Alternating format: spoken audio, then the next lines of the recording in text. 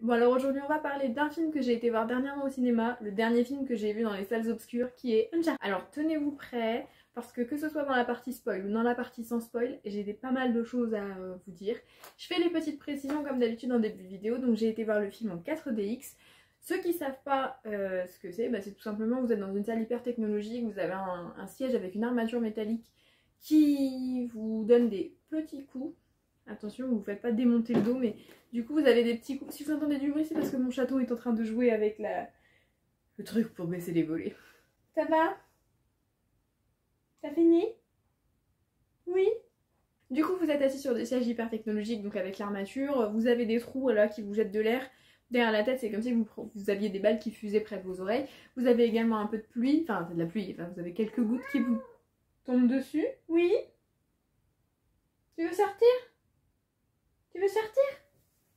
Et quelquefois le film est en 3D, là c'était pas le cas, ni pour celui-là, ni pour celui que j'ai été voir avant. Je lis mes notes parce qu'il est tard et j'ai écrit ça il y a quelques jours et donc je ne me rappelle plus. Euh, que vous dire d'autre? C'est un film que j'attendais plus ou moins parce que, euh, bah, comment vous dire que Uncharted, la série de jeux, bah, je vais pas vous mentir, mais les CD sont rayés tellement je les ai utilisés. Hein. Euh, ma PlayStation 4, quand elle entend ne serait-ce que le mot Uncharted, vous voyez là? Vous avez pas entendu? Et là j'ai entendu elle est dans le salon et là je, je, je la vois là. elle s'est levée du meuble et elle est partie en courant. Elle a peur que je mette le CD encore. Tellement j'y ai joué. Pour commencer cette partie sans spoil, euh, je vais faire une petite parenthèse parce que des gens qui vont aller le voir n'ont jamais peut-être entendu parler d'Uncharted. Si vous ne savez pas, Uncharted c'est une série de jeux qui a commencé à sortir sur la PlayStation 3 si je dis pas de conneries. Euh, il y en a 4, plus euh, Lost je sais plus quoi là, qui est sorti avec Nadine et, et Chloé. Donc il y a quatre, euh, quatre gros jeux euh, dont je suis absolument fan. Donc les fans de la série de jeux ont un point de comparaison. Mais ça veut pas dire qu'on est, euh, on a la parole d'évangile et il faut nous croire sur parole et si on vous dit que c'est trop bien, c'est trop bien, non pas du tout, vous avez le droit de vous faire votre propre opinion et votre propre avis sur le film. Mais du coup, nous au moins on a un point de comparaison et c'est là que ça coince. Donc pour information, pour ceux qui ne savent pas, là on, suit un petit peu, mais vraiment un petit peu, l'histoire du quatrième jeu. Mais euh, c'est mélangé avec l'histoire du troisième. C'est vraiment genre, ils avaient les deux jeux dans deux assiettes différentes. Ils ont mis les deux dans la marmite avec beaucoup moins de 3 que de 4. Ils ont mélangé, ils ont renversé ça et ils se sont dit voilà, c'est prêt. Ils ont tout mélangé. Je, euh, suis désolée si, si, si, si vous si je vais vous gâcher l'envie d'aller voir le film, mais vraiment ils ont tout mélangé. Euh, par exemple, c'est pas un spoiler, la scène qu'on voit euh, où Tom Holland il est accroché à la cargaison de l'avion là. Euh, d'accord, hum, cette scène elle est plutôt cool, mais en fait, bah c'est pas dans le 4. Cette scène là, elle a rien à foutre là. Vous avez juste pris une scène qui semblait grandiose pour mettre dans un film que j'ai trouvé pas terrible en plus, euh, pour rendre une scène encore plus grandiose. Dire au moins on a fait des trucs bien, oui d'accord, mais euh, en fait, euh, bah c'est non. Soit tu suis l'histoire du 4 et tu t'y tiens, soit tu suis l'histoire du 3 et tu t'y tiens et ils ont fait ni l'un ni l'autre, ils ont fait un, gros un gros mélange et j'ai pas retrouvé des j'ai pas retrouvé certaines choses et ça m'a manqué. Donc vraiment je pense que vous avez compris. Je crois que depuis que je fais ces séries de vidéos là où je vous parle des films que j'ai été voir c'est le premier film qui m'a un petit peu déçu donc en soi ça va, j'ai pas dépensé mon argent pour rien, mais je suis un peu déçue d'Uncharted, quand même, faut le dire. Comme je vous disais, ils ont fait disparaître des choses et ils se sont permis de faire disparaître des personnages ou de changer les noms des personnages. Euh, Braddock, c'est Nadine. C'est Nadine. Pour ceux qui n'ont pas joué au film, pour ceux qui n'ont pas joué au jeu, Braddock, son personnage dans le jeu n'existe pas. Son personnage s'appelle Nadine. Donc elle existe mais c'est pas avec le, même prénom. Mais vous n'aviez qu'à copier. Puisque vous vous êtes inspiré de la série de jeux, pourquoi vous n'avez pas gardé les mêmes personnages? Vraiment, euh, pourquoi? Et c'est pareil pour le personnage de Rafe. Où est-il? Qui est-il? Non, ici il s'appelle Moncada. Bon bah d'accord, il s'appelle Moncada, très bien. Mais pourquoi? Pourquoi? Parce que du coup, en plus d'avoir changé certains aspects des personnages, de pas avoir gardé des personnages, ils ont du coup bah bâcler une partie de l'histoire qui était intéressante dans le 4. Est-ce que je peux rentrer en détail sans trop vous en parler? Ben, En fait, j'ai pas envie de vous gâcher ni votre expérience de film, ni votre expérience de jeu si vous y avez pas encore joué et que vous comptez y jouer ou que vous êtes en, plein, en pleine partie.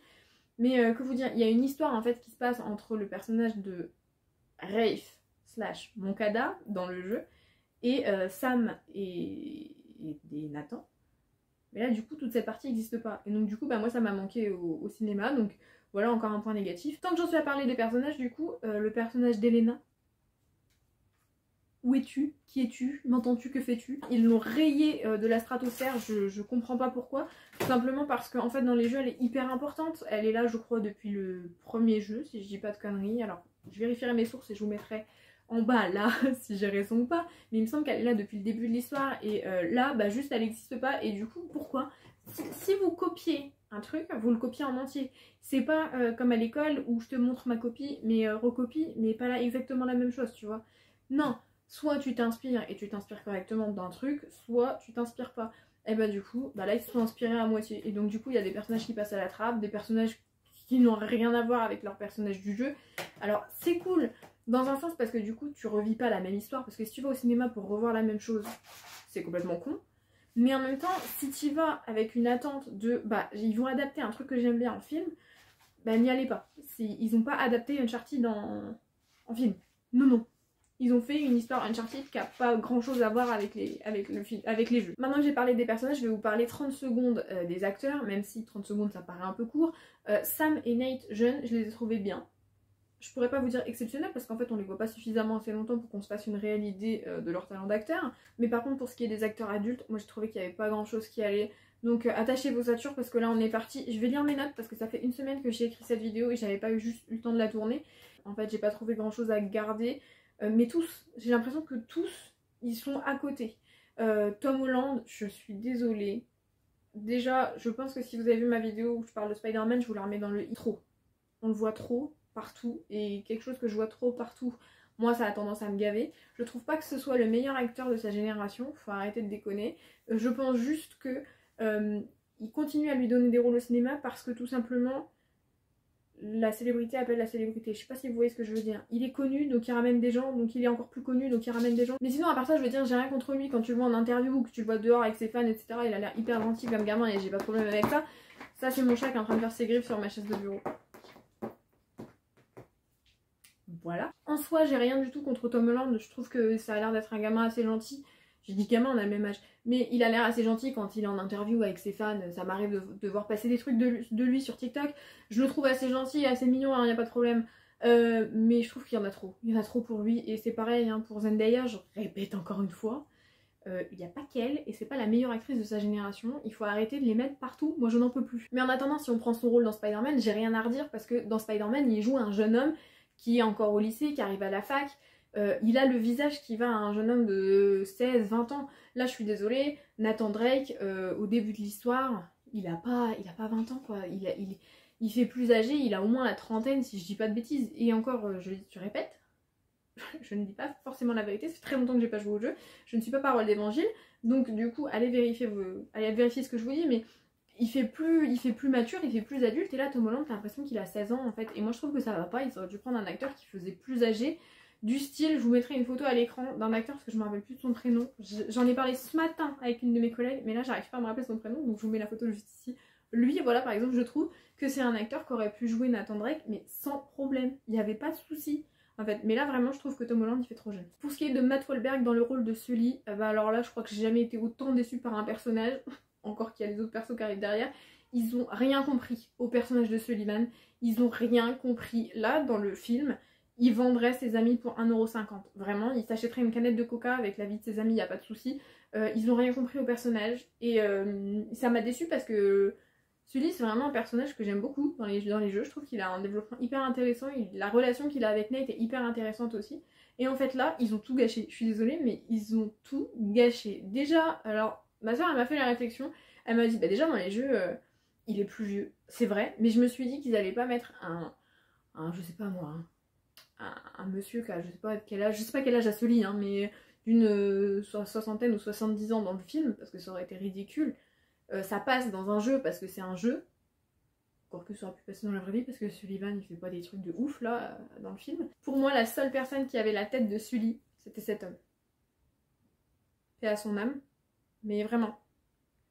Je pense sincèrement que s'il était encore en vie aujourd'hui, euh, j'aurais fait une pétition. Pour le personnage de Braddock slash Nadine, euh, j'ai pas grand chose à lui reprocher déjà parce que j'aime assez l'actrice.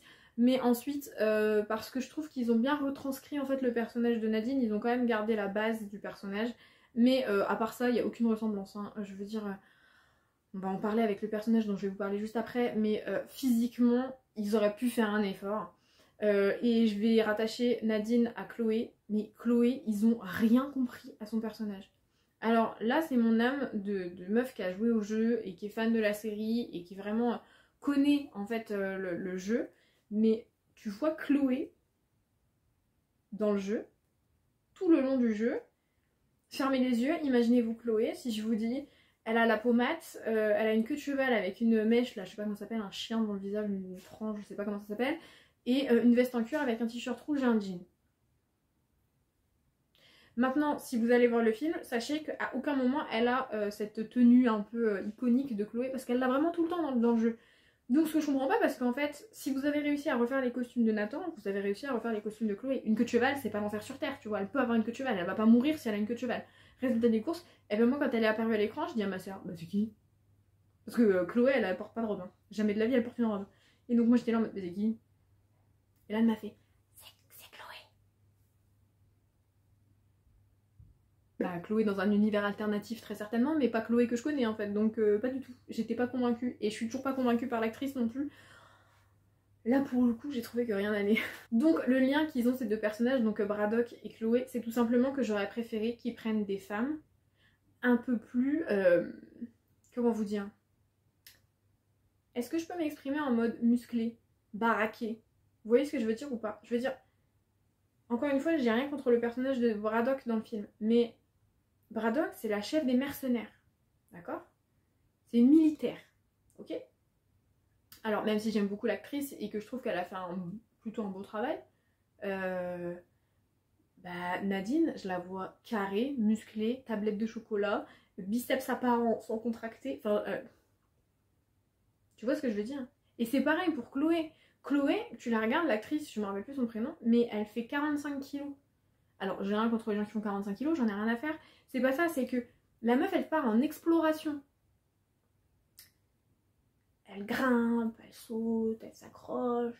Tu vois ce que je veux dire? Et elle fait 45 kilos. Où sont les muscles? Où sont où est le, corps d'athlète? Alors bien sûr, euh, on s'en fout, mais ça c'est qu'un détail. Mais moi, ça m'a sorti du film parce que j'ai vu Nadine, enfin Braddock, et je me suis dit, bah, elle ressemble pas. Alors bien sûr, ils peuvent pas trouver tous les personnages qui ressemblent, enfin tous les acteurs qui ressemblent au personnage, hein, j'en suis consciente, mais j'étais là, ils ont pas fait l'effort de au moins se dire, bon, c'est une militaire, c'est une militaire qui en plus, dans le film, enfin dans le jeu, elle a une carrure. C'est Nadine, quoi, je veux dire, épaules carrées, musclées et tout.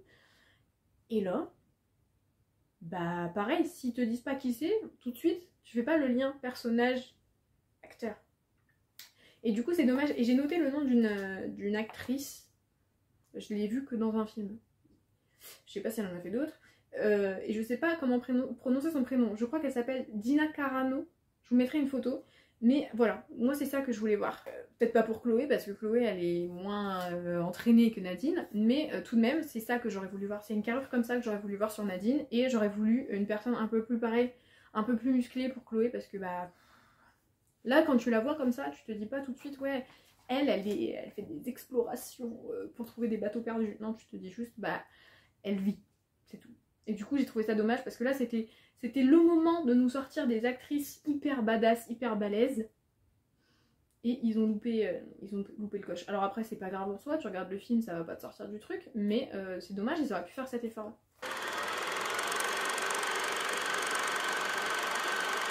Donc maintenant on va parler du film en lui-même, à savoir que euh, pour écrire cette vidéo j'ai eu l'aide de ma petite sœur, parce que tout simplement on est allé le voir toutes les deux, et quand on est sorti on a eu à peu près le même feeling en mode ok. Et quand on est rentré on n'a pas eu le temps de débattre, mais euh, le lendemain et le surlendemain j'avais mon petit cahier et j'ai noté tout ce qu'on avait à dire, parce que c'est toujours bien d'avoir deux avis. Du coup vous avez mon avis, qui rejoint énormément celui de ma petite sœur, mais du coup elle elle m'a rajouté des petites choses que j'avais pas forcément en tête ou que j'avais oublié. Donc on va pouvoir commencer et euh, ça c'est mon avis. Ma soeur elle a, elle a pas du tout aimé le film. Moi je vous dis que c'est un film, c'est pas le film du siècle quoi. Tout simplement c'est pas le film du siècle, c'est pas le film qu'on a envie d'aller revoir euh, comme euh, j'en sais rien moi. Spider-Man mais ça c'était la hype. Comme d'autres films que, vous avez vus et vous êtes là en mode oh, trop bien, il faut que j'aille le voir. Là, c'est vraiment, tu vas le voir une fois et c'est tout. C'est, je sais pas comment vous dire, c'est vraiment. Euh, il se laisse regarder. Ouais, mais t'as pas envie de faire un deuxième visionnage. Il y a rien de révolutionnaire dans le film, euh, que ce soit au niveau du scénario, au niveau du, au niveau des acteurs, au niveau des, effets spéciaux. D'ailleurs, ce film, il dégueule d'effets spéciaux euh, trop. Il y en a trop. C'est vraiment. des fois, tu, tu, regardes une scène et tu te dis, mais là, je, je le sais qu'il y a un fond vert je le sais. Et du coup, c'est dommage parce que bah, tu vas pas me dire qu'il n'existe pas des lieux où tu peux aller filmer ou faire un peu moins de d'effets spéciaux ou au moins refaire, je sais pas.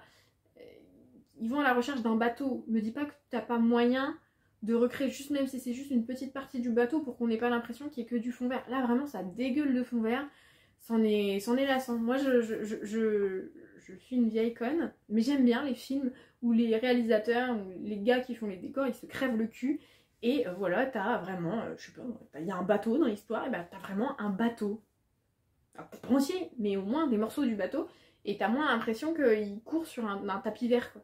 Tu vois ce que je veux dire ou pas? J'espère parce que sinon je me sens vraiment comme une vieille conne. Je répète encore une fois que mon avis, il est biaisé tout simplement parce que j'adore, je le répète, j'adore les jeux. Vraiment, je les aime de tout mon cœur. Du coup, bah forcément j'avais des attentes avec ce film que d'autres personnes n'auront pas, par exemple ceux qui n'ont jamais entendu parler d'Uncharted à, l'extérieur, euh, qui vont voir ce film parce que voilà le trailer leur les a intéressés, etc. Si vous allez le voir sans connaître l'univers, c'est un bon film. C'est pas fou, c'est pas révolutionnaire, c'est pas le film de l'année, c'est pas le truc où tu vas dire ah trop hâte que la suite elle sorte. Pas forcément, c'est un film qui est bien même si ma soeur m'a dit qu'elle avait pas du tout aimé, moi je dis que c'est un film qui est, si tu ne connais rien et que tu le prends tel quel, tu peux le regarder une fois et si c'est cool, tu l'as vu. C'est tout. Si je devais donner une note à ce film, je lui mettrais la note de 12 ou 13. On va lui donner 12 et demi. Euh, tout simplement parce que euh, tu fais un film tiré d'un jeu. Donc le scénario est déjà écrit. Attention, vous allez voir ce que je veux dire. Le scénario est déjà écrit. Tu n'as qu'à recopier. Tu n'as qu'à recopier mot pour mot, action pour action, ce qu'il y a dans le jeu et le mettre dans le film.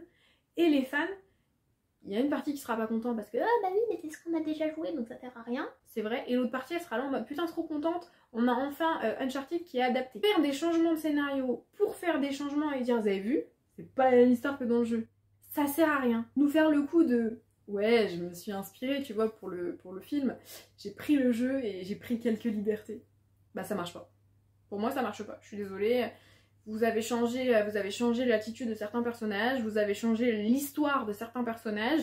Je, ça ne fonctionne pas avec moi. Alors peut-être qu'avec des gens encore une fois qui n'ont jamais joué au jeu et qui n'avaient aucune attente sur ce film, euh, ça peut marcher. Euh, moi je suis désolée, euh, non, ça fonctionne pas en fait, hein, c'est non. Je suis désolée, mais non. Donc pourquoi ce 12,5 Bah tout simplement parce que bah, lit, ils ont pas compris le personnage. Euh, parce que où est Elena? Parce que parce que l'histoire avec Sam? Parce que parce que parce que je me permets de vous raconter que euh, c'était le début du film, donc vraiment ça vous spoil euh, rien du tout. Mais l'histoire que vous allez voir entre Sam et Nate, ça ne se passe absolument pas comme ça dans le jeu. Et du coup, bah ça gâche tout. Surtout que, est-ce que je peux le dire dans la version, dans la partie sans spoil, euh, il se passe un truc avec le personnage de Sam. Et en fait, en tant que joueur, on est là et on dit bah non, ça marche pas. Parce qu'en fait, en tant que joueur, bah on sait ce qui se passe nous, si tu veux. Nous, nous on sait. Donc ça fonctionne pas. Pas du tout même. Parce que bah, les joueurs, nous, nous savons. Et nous savons tout. Et donc du coup, c'est pour toutes ces raisons que ce film, je vais lui donner un 12,5 sur 20. C'est pas une note catastrophique, je trouve. C'est pas une note superbe, mais euh, c'est parce que vraiment hésité à lui mettre 10, genre le 10 de la neutralité, parce qu'il m'a rien fait éprouver ce film. Mais euh, pour le pour le travail qu'ils ont fourni quand même, ça se fait pas, genre de mettre 10 mais euh, parce qu'il y a quand même des points qui sont un peu positifs, genre il y a un petit peu d'humour, ça marche un petit peu. Euh, il y a des scènes qui sont pas trop mal, mais rien de transcendant. Donc voilà les raisons pour lesquelles je, je, mets un 12,5 sur 20 à ce film. Maintenant nous sommes entre personnes qui avons vu le film ou alors si toi devant ton écran tu es encore là c'est que tu n'en as absolument rien à foutre. Bienvenue dans la partie avec des spoils. Alors pour commencer attachez vos ceintures parce que là ça va swinguer. Euh, par quoi on va commencer? Bon, Je vais pas vous reparler des acteurs, je pense que si vous avez vu la partie euh, juste avant bah, tout simplement euh, vous comprenez que je les ai pas beaucoup aimés. Là je vais vous parler plutôt de l'histoire en elle-même, c'est parce que là j'ai besoin de me plaindre, j'ai besoin de d'extérioriser tout mon ressenti sur ce film. Donc encore une fois, attachez vos ceintures, hein, parce que là vraiment il y en a pour un moment. Je viens de terminer la partie sans spoil en vous parlant du coup de, ce qui se passe avec Sam, sans trop en dire. Donc au début du film, on nous dit que Sam est mort on apprend dans le film, courant du film, que Sam est mort en fait, ou a disparu. Alors euh, ça marche pas. Encore une fois, parce que déjà c'est pas comme ça que ça se passe.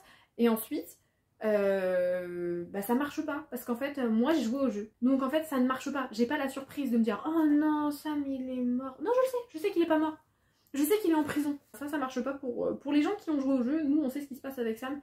Donc vraiment, c'est complètement con.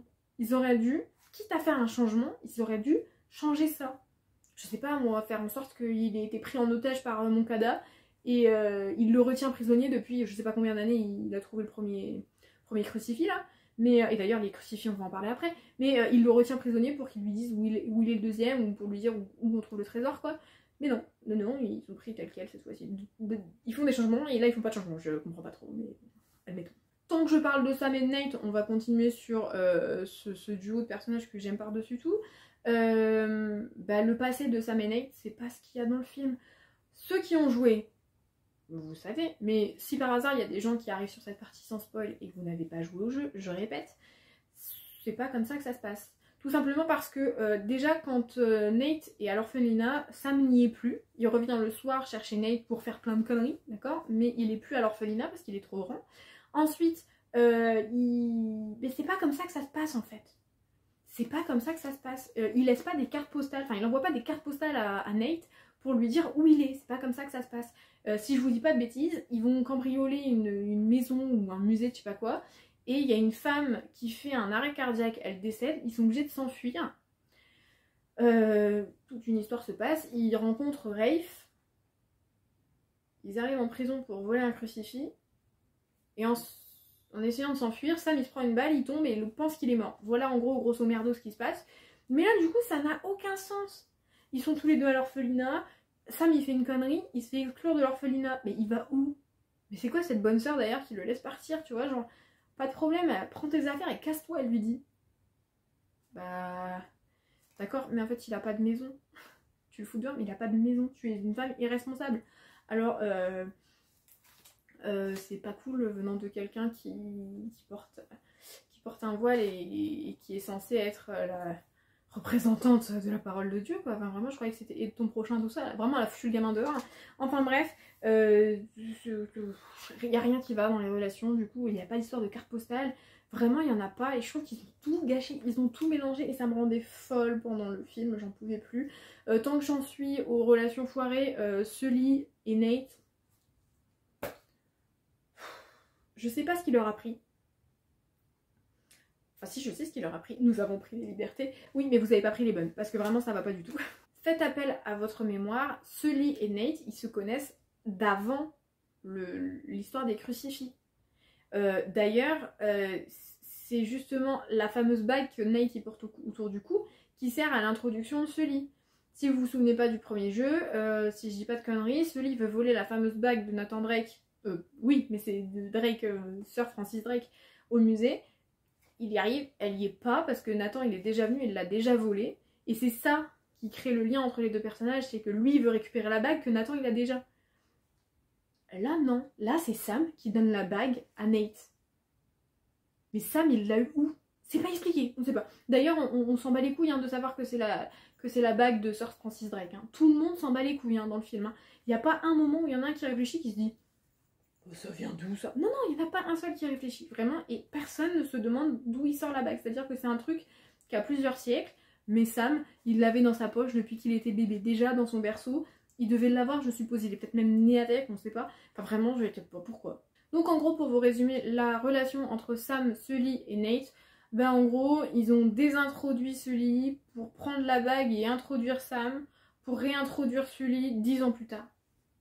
Alors que tout ce qui est bien dans la relation Nate-Sully, c'est qu'ils se connaissent depuis que Nate il est petit. Il le rencontre pas au bar à faire des cocktails.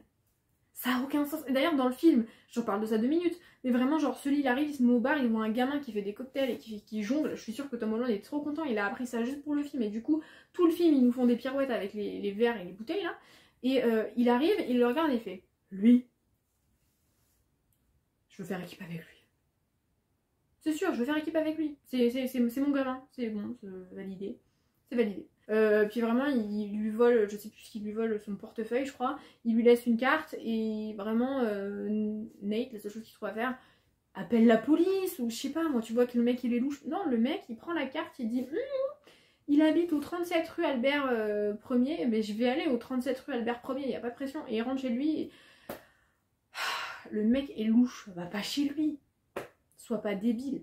Enfin bref, c'est que plein de petites incohérences et du coup, bah, j'aime pas la relation qu'ils ont parce que vraiment ils se découvrent et puis ils ont rien compris au, personnage de celui. Je suis désolée, je me répète, mais c'est pas comme ça que ça se passe et du coup, moi ça me gêne dans le film. C'est complètement con parce que celui vend ses amis pour 50 centimes, il va s'acheter un, marshmallow. Enfin vraiment, il y a rien qui va donc euh, pour les persos, c'est niette. Hein. Je suis désolée, mais non. Oui, et dernier point tant que je parle de Sam, mais euh, dans le film, il abandonne Nate sans pression. Il lui dit euh, Je reviendrai te chercher, petit frère et il est jamais revenu le chercher. Et pourtant, dans le jeu, c'est genre, c'est des frères, euh, frères, c'est le duo. Et là, ils ont encore pas compris. Nate, il reste à l'orphelinat et Sam, il lui fait On se revoit bientôt. Et il revient jamais. Donc quel est l'intérêt? Enfin vraiment, il n'y a pas grand chose qui va. Euh, d'ailleurs, je reste encore sur l'idée qu'ils ont retiré des personnages qui pour moi étaient utiles. On a perdu Elena et Rafe en cours de prod. Je ne sais pas quoi vous dire. J'aime pas Chloé, encore une fois, je vous l'ai déjà dit, mais je le répète. D'ailleurs, j'en profite parce que ma petite soeur, elle m'a laissé, une petite note. Elle m'a mis euh, dans ce film, ici, c'est une traître. Dans le jeu euh, numéro 2, elle fait tout pour sauver Nate. Et euh, ils ont rien compris au personnage. Et si je me souviens bien, elle a, elle a forcément raison, parce que déjà, elle y a joué beaucoup plus que moi. Mais oui, il me semble que dans le, film 2, elle se démerde le plus possible pour pas que Nate et celui tombent entre les mains des méchants et qu'il se passe rien, quoi, qu'ils soient en sécurité. Et là, vraiment, euh, elle est avec eux. Mon Kada, il lui propose plus de thunes. Elle est avec lui. Mais finalement, mon Kada, il meurt. Finalement, elle est re du côté de Nate. Mais elle est plus du côté de Nate parce que l'autre est mort et qu'elle a peur de Braddock que parce que euh, c'est la grande amie de, de Nathan et Sully. Enfin, vraiment, ils ont rien compris au personnage et elle a raison. Je répète encore une fois, le scénario, je le trouve pas foufou. Euh, sachant qu'ils n'ont aucune excuse tout simplement parce que s'ils avaient un doute sur le scénario, euh, faites le test sur votre téléphone ou sur votre ordinateur. Vous allez sur Google, vous tapez YouTube, dans la barre de recherche YouTube, vous mettez Uncharted 4 film français, le premier lien, vous cliquez dessus, vous laissez les pubs passer. Normalement, vous avez mis moins de 40 secondes pour aller jusqu'à la vidéo et donc après, vous n'avez plus qu'à cliquer pour avancer si vous avez un doute pour aller regarder. Euh, bah, ce qui se passe à un moment donné. Donc en fait, ils ont aucune excuse parce que tu mets, honnêtement, tu mets 30 secondes à aller sur internet pour vérifier. Donc moi, je suis désolée, mais à partir du moment où il y a des incohérences et où ils changent des trucs sur des persos, le film, enfin le jeu fait en film, sur la chaîne de je ne sais plus quoi, je vous mettrai l'image ou le lien en description, mais euh, je crois qu'il dure 2 heures peut-être, ou 2 heures et demie. Tu vas pas me dire que le scénariste euh, le, mec qui a écrit, le mec qui filme, les acteurs, ils n'avaient pas deux heures à tuer et à regarder. Enfin, vraiment, ils sont pas d'excuses, je suis désolée, ils sont pas Nous allons maintenant rentrer dans le monde du TGCM. Si vous savez pas ce que c'est que le TGCM, c'est le ta gueule, c'est magique. Alors, euh, pour rentrer dans ce monde, on va commencer par un truc tout simple. Euh, à la fin du film, il y a deux hélicoptères qui soulèvent des bateaux pour les faire sortir d'un endroit. Bref. Euh, ces bateaux, ce sont des caravelles. D'accord? C'est des bateaux qui ont été utilisés par Christophe Colomb. Ok? C'est des bateaux qui pèsent, si je dis pas de conneries, 200 tonnes. Ok? 200 tonnes. Donc vous allez noter quelque part dans votre tête, dans le coin de votre tête, 200 tonnes. Maintenant, si on prend un exemple d'hélicoptère. Euh, l'hélicoptère le plus gros et le plus puissant, je crois que c'est le 1000 Mi 26, un hélicoptère russe, qui peut soulever jusqu'à 20 tonnes. Alors, euh, je suis pas exceptionnellement bonne en maths. Mais vous trouvez pas qu'il manque un zéro là entre 20 et 200 Mais bon, dans le film ils y arrivent. Ta gueule c'est magique. Mais tant qu'on est dans le ta gueule c'est magique, j'ai une question un peu technique. J'en ai parlé à ma soeur, elle m'a dit Bah oui, t'as raison. Alors je me permets de la poser ici parce que je me rappelle pas qu'ils en aient parlé dans le film. Mais bref, euh, si vous vous souvenez, les deux bateaux de Magellan, là, où il y a l'or, ils sont entourés de pierres. Il y a un petit peu d'eau, mais ils sont entourés de pierres. Pour y aller, Nathan, il a dû plonger. Alors, plonger pas longtemps, hein. il a dû faire une apnée de 15 secondes. Et euh, d'ailleurs, tant que je parle de ça, euh, lui il arrive, il est trempé, et Matt Wahlberg, il n'avait pas une goutte sur son t-shirt ni sur son pantalon, euh, comme s'il était tombé du ciel directement, comme un ange, il s'est posé sur les bateaux à l'intérieur. Bref, du coup c'est complètement con parce qu'il devrait être mouillé. Enfin bref, donc moi ma question, elle est un peu conne, mais du coup les bateaux sont entourés de pierres, mais il y a un trou au-dessus. Ma question, c'est, sachant qu'il n'y a pas d'entrée, autour des bateaux et que Nathan il a dû nager. Euh, les bateaux, comment ils sont arrivés à cette place-là? Parce qu'à moins qu'il y ait une grosse vague, ou qu'il y ait vraiment une montée des eaux et que l'eau allait baisser, vous vous rendez compte que c'est pas possible? Est-ce que le mec qui a écrit ce passage du film, il a regardé de loin son idée et il s'est pas dit mais c'est pas possible Non mais réfléchissez vous êtes entouré là. C'est comme si moi, autour de moi, là, j'étais entourée et j'avais juste un passage ici et un passage où je dois creuser. Comment, scientifiquement, j'ai pu arriver ici?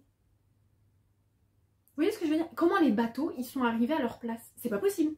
Mais TGCM, c'est magique. Ils sont arrivés là parce qu'ils sont arrivés là, parce qu'ils devaient être là pour le scénario. Et puis parce que, bah, comme il fallait des hélicoptères qui peuvent porter un bateau de 200 tonnes, ils ont fait un trou. Comme ça, on peut les traiter comme ça.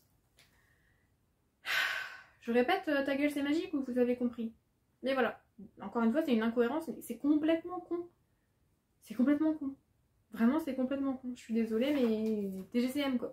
Là, je vais repartir sur le scénario, c'est le dernier point que je voulais évoquer dans cette vidéo. C'est euh, tout le blabla qu'il y a autour des croix. Donc, euh, si je dis pas bêtises, et j'espère que je ne me tromperai pas dans la prononciation, il y a Saint-Dismas et Saint-Gestas je crois, ou Gestas, enfin bref, Gestas on va dire, euh, ces deux croix, euh, bah même ça, ils n'ont pas réussi. Même ça, ils ont fait une merde. Dans le jeu, les croix, elles sont en bois. Ils les cassent pour avoir un truc dedans, il y a un indice pour trouver le fameux trésor, mais elles sont en bois. Et ils les cassent pour avoir l'indice. Ici, elles sont en or. Admettons mais pas seulement des croix. Elles servent aussi de compas. C'est toujours utile d'avoir une croix sur soi quand on fait de la géométrie. Je vous donne ça. C'est au cas où un jour dans votre vie, vous êtes là et vous voulez absolument un compas. Cherchez une croix quelque part. Ça peut vous être utile. On ne sait jamais. Vous pouvez tomber sur la croix de Saint Dismas et elle peut vous être utile.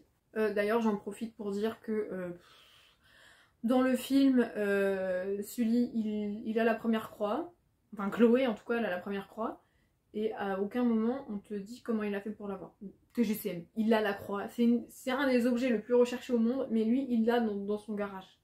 Pourquoi TGCM. Et tant que j'y suis, euh, comme je vous disais, les croix, elles se cassent parce qu'elles sont en bois et il y a des indices qui leur permettent d'arriver là où il y a le trésor. Ici, en plus d'être des compas, c'est vraiment, c'est un couteau suisse elle se transforme en clé. Je vais aller acheter deux croix. Je vais sécuriser ma maison comme ça, hein. je vous le dis tout de suite, euh, si, je peux faire autant de choses avec deux croix, mais ma vie va être extraordinaire. Ah oui, d'ailleurs, tant que je parle du compas euh, croix là, j'ai une question. encore une fois, Sam, il dit à, Nate que la croix est ton compas. Enfin, les croix sont ton compas. Ok. Sam, il n'y a pas de problème, hein, euh, je, je t'aime, pas de problème. Ma question, c'est euh, tu sais comment, du coup, c'est un compas? Parce qu'en fait, euh, techniquement, t'en avais qu'une.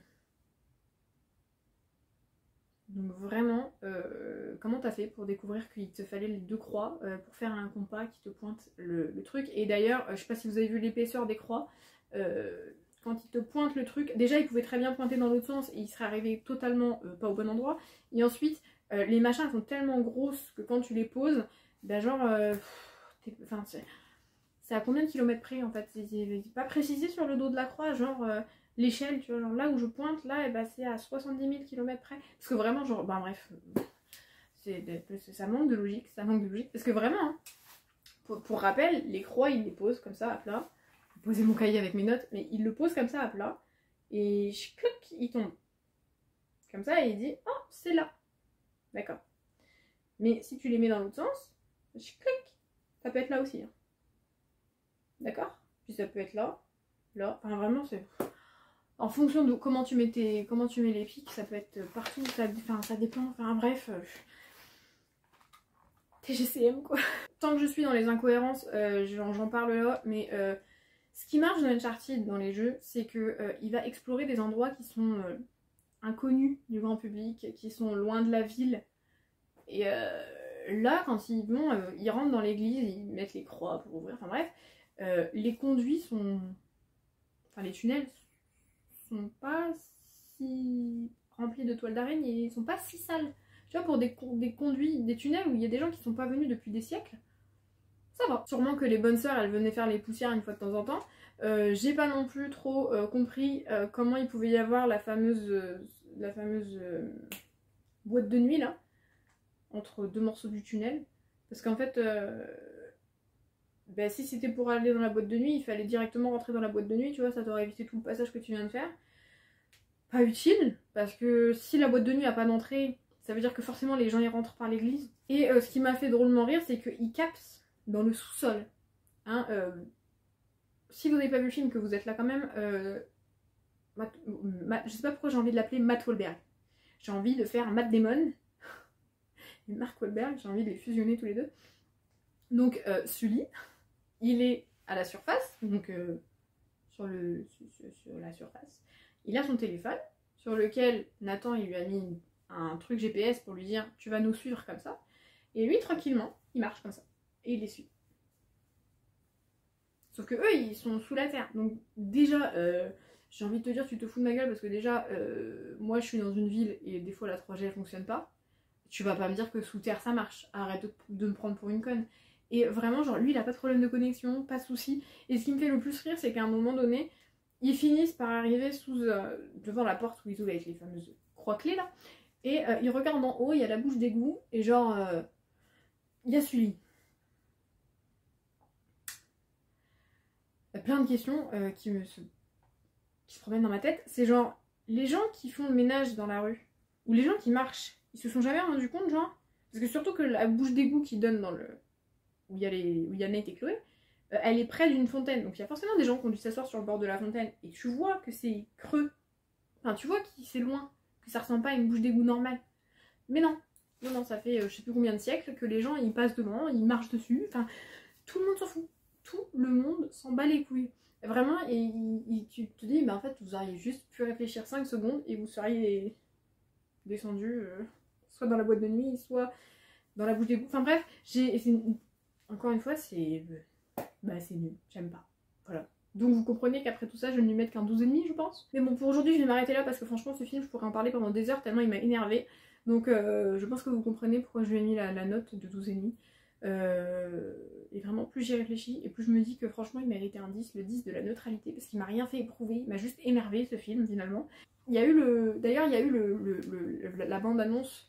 Euh, la bande-annonce, il y a eu une scène post-crédit c'est ça que je veux dire. Et euh, bah déjà la scène post-crédit est nulle. Et en plus, euh, parce qu'elle reprend un passage d'un jeu, je crois, bah, un passage du, du 3 où ils échangent la bague contre euh, je sais plus quoi. Et Nate il lui a donné une fausse bague au gars. Enfin bref, donc ils ont repris ça, mais ils ont encore fait des changements. On a pris des libertés. Et du coup, en fait, pour information, cette scène post-crédit, vous avez une image dans le trailer. Euh, l'image où euh, euh, Marc et Marc, il s'appelle Marc, il s'appelle pas Matt. Laisse-le tranquille, Matt Damon. L'image où vous avez Marc Wahlberg avec la moustache et le t-shirt rouge, je crois, et il a son sac à dos avec son chat. Je crois même qu'il fait une blague sur le fait que il a sa moustache et il dit à Nate T'inquiète pas, la puberté ça va arriver bientôt pour toi aussi. Ben ça, c'est la scène post-crédit. Donc c'est aussi un teaser pour le film 2 que je n'irai très certainement pas voir. Faut pas déconner, à moins que vraiment la séance je la paye 8 euros. Mais voilà. Donc c'était juste une précision, la scène post-crédit elle est dans le trailer. Quelle est l'utilité Je ne sais pas. Mais voilà, je voulais juste vous prévenir. En attendant, j'espère que cette vidéo elle vous a plu et que vous avez quand même passé un bon moment avec moi. N'hésitez pas à vous abonner, mettre la cloche et pourquoi pas laisser un petit commentaire. Euh, moi je vous dis à la prochaine. Je vous fais plein de gros bisous. Salut